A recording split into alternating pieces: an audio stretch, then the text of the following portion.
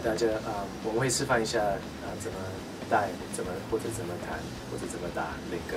然后领歌你就要听竹林的唱是什么，然后有什么 rhythm，然后它有什么主题，什么 theme，然后你就想怎么 support 或者怎么 accompany 它，啊，怎么 accompany。平常领歌可能你会唱五分钟、十分钟，所以你可能每每一层。